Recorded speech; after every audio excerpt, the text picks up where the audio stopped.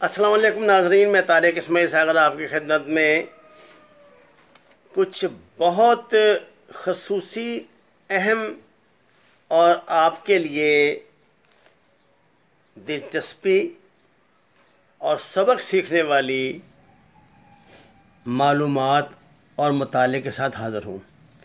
नाजीन कराम आजकल इंडिया की तरफ़ से गिलकत बल्तिस्तान के हवाले से बड़ी बड़ी बड़े हाँकी जा रही हैं और बहुत कुछ उल्टा सीधा बकवास भी की जा रही है।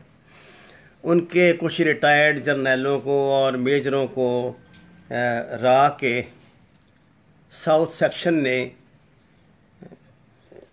सोशल मीडिया पे एक्टिव कर दिया है, जो दिन रात हजियान बकते हैं, पाकिस्तान के ख़िलाफ़ उल्टी सीधी बातें करते हैं, धमकियाँ देते हैं, इश्तियाल दिलाते हैं। इंतहाई अजीब व गरीब हरकत करते हुए इन नफसियाती मरीज़ों ने अब अपने रेडियो और टीवी से बल्तिस्तान, गिलगत और आज़ाद कश्मीर का मौसम भी बताना शुरू कर दिया है। असल में ये इंडिया की पुरानी जंगी डॉक्ट्राइन है जिसको ये जनरल जयाउल्ला के दौरे हुकूमत में भारत की तरफ़ से ना बर सग़ीर की सबसे बड़ी जंगी जारियत इस वक्त की गई थी।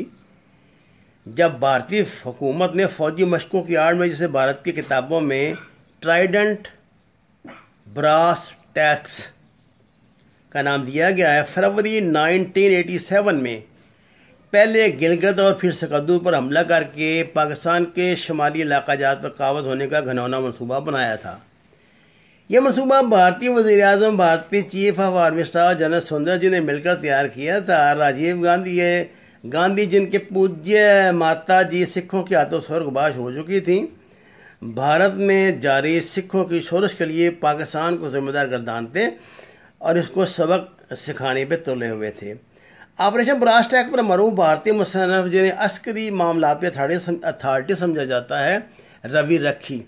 इन्होंने एक मशहूर ज़माना अपनी किताब लिखी थी the war that never was इस किताब ने अरसे तक इंडियन जो हैं, अस्करी हल्के, बल्कि दुनिया भर के अस्करी हल्कों में खासी धूम मचाई रखी खाकसार ने भी उन दिनों में इन इस किताब का मताल किया था। कवल इसके अच्छा रवि राखी की ज़ुबानी मैं आपको ये बता दूँ, वो इसकी वजह क्या बताता है? वो कहता है कि 1986-97 के बुरान की वजह जो पस मंज़र बना रहा, उसके कुछ बुनियादी निकात का जायज़ा लिया जाए, या इंडिया में जो बना रहा था, कि दाखिली पॉलिसी के नतीजे में पाई जाने वाली सूरत के लिए ज़रूरी हो गया था कि पाकिस्तान के साथ झगड़ा किया जाए, क्योंकि सिख मूवमेंट, आपको पता बहुत ज़ोर पकड़ गई थी 84 के बाद। और 86 सेवन में तो इंदिरा गांधी के 84 में ही, अक्टूबर में इंदिरा गांधी के कत्ल के बाद से मामला बहुत बिगड़ रहे थे। तो इन्होंने समझा था कि इसको बैलेंस करने के लिए ना पाकिस्तान के को, के खिलाफ को बड़ी, बहुत बड़ी फौजी कार्रवाई करके तो उन्नीस सौ इकहत्तर जैसे रिज़ल्ट हासिल किए जाएँ। इस इसको इस इसको इस तजर्बे को असल में वो कहता है कि ऑपरेशन ट्राइडन ब्रास टैक्स का नाम, टैक्स का नाम दिया गया। ये एक त्रिशोल यानी तीन सरों वाला ना नेज़ा जो है, इसका निशान था। वो जो ऐसे नहीं होता, ये हिंदू दहशत गर्दों के हाथ में पकड़ा होता है। अच्छा ये मनसूबा ये था कि जी, फरवरी 1987 को साढ़े चार बजे गिलगत पर पहले और फिर सकद्दू पर हमले के मंसूबे का नाम है ये। तो थी कि इस हमले की तकमील दो हफ़्ते में हो जाती। इसके नतीजे में 1947 से पाकिस्तान के जेर कब्ज़ा शुमाली इलाका जात को वापस ले लिया जाता। अगर पाकिस्तान लड़ाई को सिर्फ़ शुमाली इलाके तक ही महदूद रखना पसंद करता तो इंडिया के लिए खूब था। लेकिन फ़र्ज़ करें, पाकिस्तान जवाबी कार्रवाई करता। और इस जंग का दायरा पंजाब पर हमला करके बढ़ा देता, जो बुनियादी तौर पर एक अजीम हरबी मनसूबे के तौर पर तैयार किया गया था, पे फिर ब्रास टैक्स ने हरकत में आना था।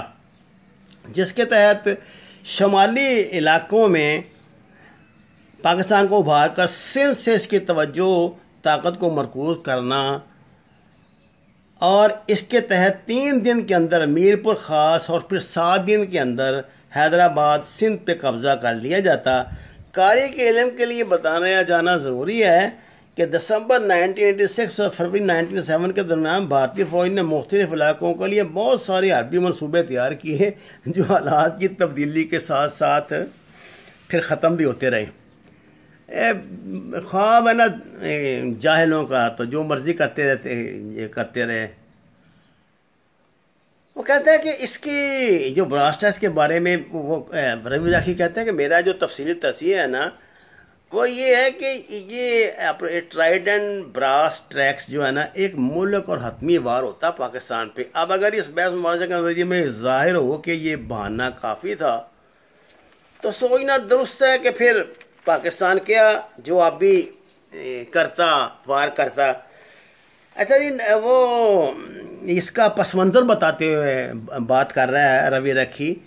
ये कहता है कि 1984 में भारतीय फौज ने नराला मार का मारा। फौज ने पंजाब और हरियाणा में साठ डिवीज़न फौज भेजी पाकिस्तान से लड़के, लड़ने के लिए नहीं, बल्कि गोल्डन टेंपल में सिख इतिहास पसंदों का सफाया करने के लिए ढाई सौ से ज़्यादा अफसरान और जवान इसमें मारे गए। इससे ये गलत कह रहा है एकदम कोई मतलब ढाई सौ तो नहीं कोई तीन के चार हज़ार के करीब तो एक दिन में मारे गए थे। पाकिस्तान से लड़ने के लिए हरियाणा फौज तैयार न रखी गई थी बल्कि भारतीय सैनिक से लड़ने के लिए तरतीब दी गई थी। कहता है कि फसादात की बिना पे भारत के ग्यारह डिवीज़न जो थे ना वो अपने मा, मा, अपने जो उनका मुस्तकिल जो होते हैं ठिकाने उनसे हट गए थे। दो डिवीज़न मामूल के मामलात के लिए मशरक में मौजूद थे जबकि कुछ फ़ौज जम्मू कश्मीर की सलामती के लिए भेज दी गई थी। वो बताता है कि पाकिस्तान ने आखिर उन्नीस सौ चौरासी में ये सिखों की मूवमेंट शुरू की थी। तो इसकी वजह रवि राखी ये बताता है कि 1982-83 में सिंध में ना बहुत शदीद रहा ने मूवमेंट शुरू की हुई थी। बल्कि 1983 में तो इंडियन प्राइम मिनिस्टर ने यह बयान भी दे दिया था कि सिंध अन करीब आज़ाद हो जाएगा। ये ये खुद अकरार वो करते हैं। अच्छा जी, उन्नीस सौ छियासी सतासी के मौसम सरमा भारतीय फौज ने अपनी सह साल मशक़ें करनी थी जिनका नाम इस दफ़ा इन्होंने एक्सरसाइज ब्रास टेस्ट रखा था 1986 के वस्त तक इस मामला में फैसले करने वालों के जहनों में यह ख्याल कुल बनाने लगा कि क्यों ना इस दफ़ा ये मशक़ें पहले से ज़्यादा बड़े पैमाने पर की जाएँ और क्यों ना ऐसी सोची समझी मुँह बम और गैर वाजा पॉलिसी ली जाए, जिससे पाकिस्तान को पसीना आ जाए। ब्रास टेस्ट जैसी मशक़ें दरमियान में कम और महदूद होनी चाहिए। भारतीय फौज ने फौज की हैसियत से नहीं, बल्कि अस्करी तरबियत को कायम और बरकरार रखने के लिए पुराने तर्ज की पॉलिसी पाबंदी अपना रखी है।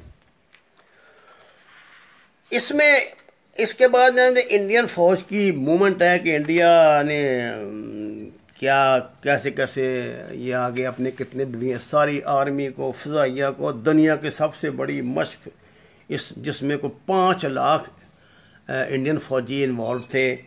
कहता है कि पाकिस्तान इसके दबाव के जवाब में सिर्फ़ ये पाकिस्तान के जवाब एक मतलब क्या थी? बड़ी बढ़ के मारते हैं जो। अपने जनूबी आर्मड डिवीज़न नंबर वन और थर्टी सेवन में डिवीज़न को जो रहीम यार के करीब मशकों में मसरूफ़ था, पंजाब के माज पे जमा करना शुरू कर दिया। पाकिस्तानी अजायम इस बारे में साफ़ हैं, वो सिरे से किसी जंग का मुतमल नहीं हो सकता। अगर जंग हो जाए तो इसे पता है कि वहाँ भारतीय हरबी सलाहियत तो हमले से सिंध में इसके पाँव उखड़ जाएँगे और सिंध ने भारत के अंदर की सूरत को मद्देनजर रखने से तैयार रहकर पंजाब ने अपनी कार्रवाई के लिए अपनी कुत बचा के रखनी है। पाकिस्तान ने अपनी फौजों की दस्ताबंदी में किसी जल्दबाजी से काम नहीं लिया। तकरीबन बारह दिनों में पाँच सौ किलोमीटर के फासले पर एक कोर के बराबर फ़ौज को दोबारा तैनात किया। इसके जनूबी रिज़र्व जो हैं अलबत् पहले ही मास के करीब मौजूद थे। जबकि छठा आर्मर डिवीज़न और सत्रहवा डिवीज़न खारिया में है। ये जनरल सुंदर जी पहले से सूरत हाल से राह की ने उसको बाखबर कर दिया था। और सुंदर जी ये शिकी बिगाड़ने में काफ़ी हद तक हक बजानब था कि इसे पाकिस्तानी फ़ौज के एक एक यूनिट की नकल हरकत और हर ट्रेन में फ़ौजियों की तादाद का इलम है। अल्लाह माशाल्लाह इसके लिए पाकिस्तान में बड़े लोग मौजूद हैं जो इनकी खदमात अंजाम दे सकते हैं।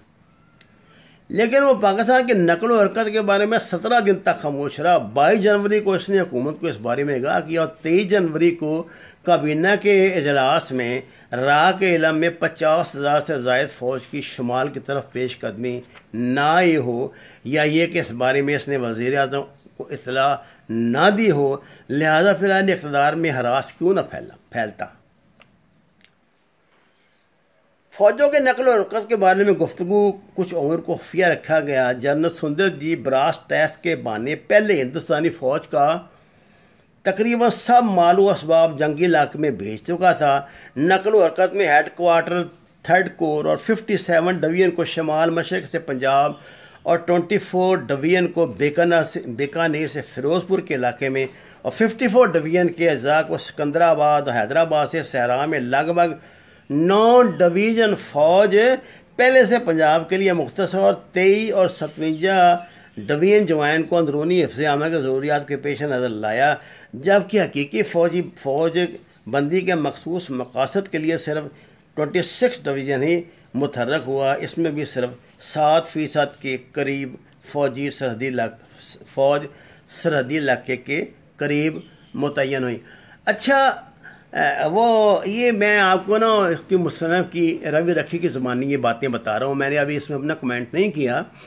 बात यह है कि वो भी ये बात तस्लीम करता है कि उस वक़्त जो पाकिस्तान का सदर था, जनरल ज़ियाउल हक, वो बड़े ही ठंडे मिजाज का लेकिन बहुत ही क्लेवर आदमी था, जिसने अचानक एक हंगामी लैंडिंग करके इंडिया में सारे खेल का पासा ही पलट दिया और आखिर पाकिस्तान फाजलका, अबूर और गुरदासपुर, पठानकोट के महाज पर बिलमकबल आ रहा था। अब पोजीशन ये हो चुकी थी कि अब वो अमली तौर पर पहले हमला करके पठानकोट की पट्टी को काट कर जम्मू कश्मीर को बाकी इंडिया से अलग कर देने और साथ ही सनसनी खेज हरकत करते हुए पंजाब अपने कब्ज़े में ले लेने की पोजीशन में था। ये है वो ऑपरेशन ब्रास टैक्स और इस पर मैंने तबसरा खुद नहीं किया।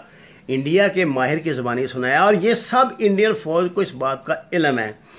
अब ये है कि वो बकवास करते रहे और धमकियाँ देते रहे हैं कि वो जो गिलकत को स्कर्दू को काट देंगे, ये कर देंगे काट दो भाई। काट दो, अगर तुम्हें हिम्मत है, जो मर्ज़ी तुम करते रहो, कहते रहो। ये इतना आसान नहीं है। पाकिस्तान जो आर्मी है, ये बहुत स्किल्ड आर्मी है, बड़ी प्रोफेशनल आर्मी है। ख़ास तौर से गुज्त दस पंद्रह साल से हम मुसलसल हालत जंग में जिसने इनको ज़ख्मी चीते बनाया हुआ है। ये इतनी जल्दी तुम्हारे ख्वाबों की तकमील नहीं हो सकती।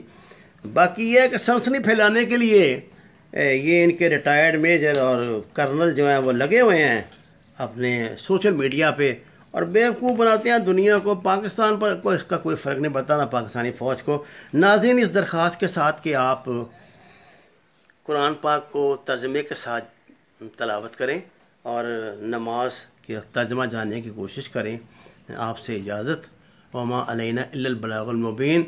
अगर आपको पसंद आए तो हमारे चैनल को सब्सक्राइब ज़रूर करें। आपका शुक्रिया।